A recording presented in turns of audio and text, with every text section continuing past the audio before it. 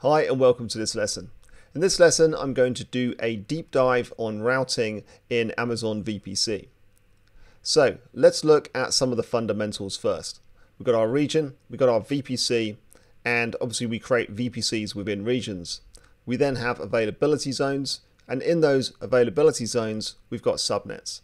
And each of those subnets must have a block of addresses, and that block comes from the overall CIDR block for that particular VPC. So in this case, we've got three availability zones, each with a subnet, each with its own IP range. We then have a main route table. Whenever you create a VPC, the main route table is created by default. In this case, we have an internet gateway as well. These are attached at the VPC level for inbound and outbound communication with the internet. So the overall CIDR block here is 10.0.0.0/16, so all of our subnet ranges come from that overall block. The main route table is associated with all of the subnets, and that association is actually implicit. And that means that the subnets have not been explicitly assigned to the main route table. For example, you can see this when you go into any region and there's a default VPC, and you'll notice that ha that has multiple public subnets, one in each availability zone. And then if you look at the main route table, you'll see that none of those subnets are assigned explicitly to the main route table, but they are implicitly associated. We can then create our own route tables. So for example here, what we're doing is we're creating a private route table. So now the private route table is going to be associated explicitly with the private subnets. Each subnet can only be associated with one route table at a time, and you can change that whenever you want to. So let's look at how we actually route outbound from our subnets. So let's say we've got our private subnets here, and we've got two instances, each running in a different private subnet. And then we create a NAT gateway, and the NAT gateway is always in a public subnet. We then have to add an entry to the private route table, and that goes that says that 0, 0, 0, 0 slash 0 goes to NAT gateway ID. Now, that IP address, as you well know by now, means any IP address. So if we don't get a match, in other words, in this case, we have the VPC CIDR block. If we don't get a match there, so the destination IP is not in the VPC CIDR block, then this rule matches and the traffic gets forwarded out through the NAT gateway and the NAT gateway then in turn goes to the internet gateway. And it knows to do that because the main route table is associated with the public subnets and has a route out via the internet gateway. Now the longest prefix always wins. So traffic to 10.0.0.0/16 network is routed locally and all other traffic goes via the internet gateway. So if you have multiple entries in your route table, the one with the longest prefix, so here we've got slash 16, is longer than slash 0. If we had slash 32, which indicates a specific IP address, then that would also win out. So if the destination was that IP, it would win over a less specific, a lower prefix number here.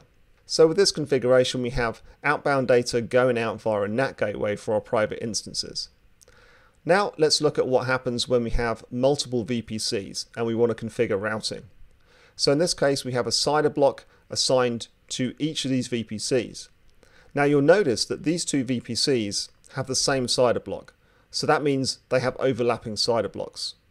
Now we can create VPC peering connections between these VPCs, but we can't here because these ones have overlapping CIDR blocks which you're not allowed to have with VPC peering. So let's say we've deployed some instances in each of these VPCs. And we need to now to be able to route from the VPC on the left here to the instances on the right here. So how are we going to do that? Well, we've got our local route and then we have these two routes here. So one is going via the VPC peering connection 1 and the other is going via VPC peering connection 2 but they're both the same. So what happens? Longest prefix wins, but they both have the same prefix and the same network number. Well, let's say we have an IP address here. So the IP address of this instance is 172.16.0.15. How could we solve the problem of sending traffic just to this instance? Well, then we can create a destination with 172.16.0.15 slash 32. That's a longer prefix than slash 16. So now all traffic that's destined for the 172.16.0.0 network is going to go via VPC peer 1 except for if it's going to this specific IP address. So in that case, it will then come down to the bottom VPC peering link here, VPC peer 2.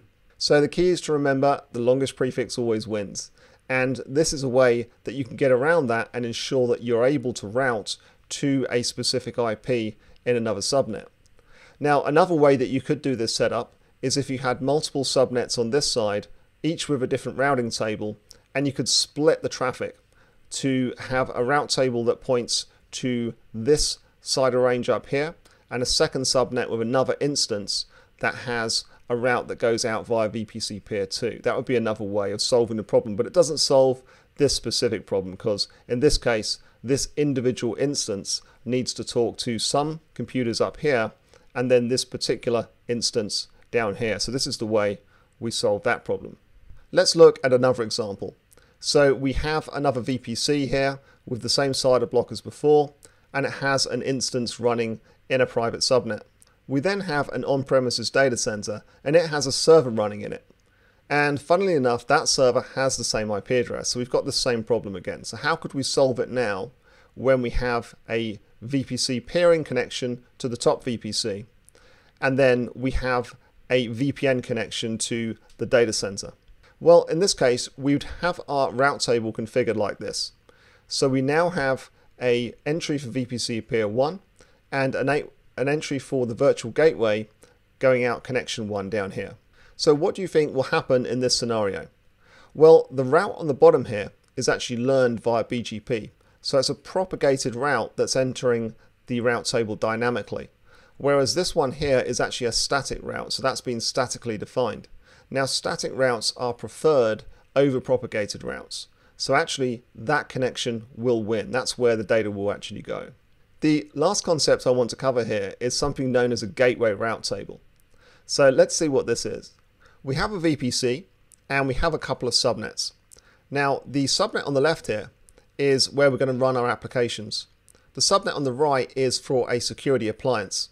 So we have an application instance running here we have a security appliance, and then we have an internet gateway.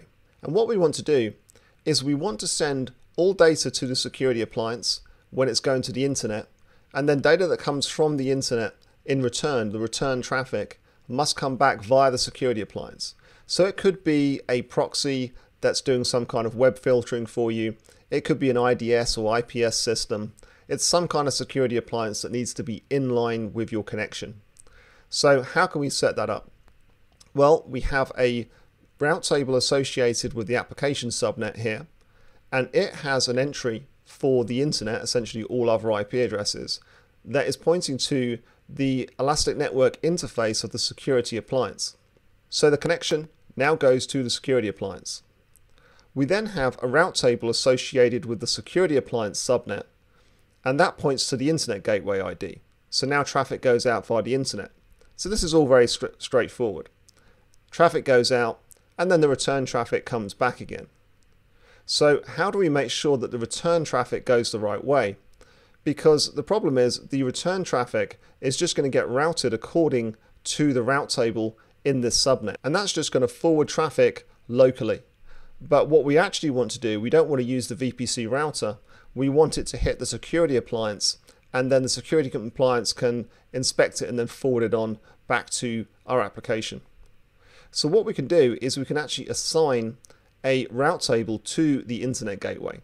So this is called a gateway route table and you attach those to internet gateways and virtual private gateways that you're using with your IPsec VPNs. And in this case, it has a route with a destination and it forwards that data onto the Elastic Network interface of the security appliance.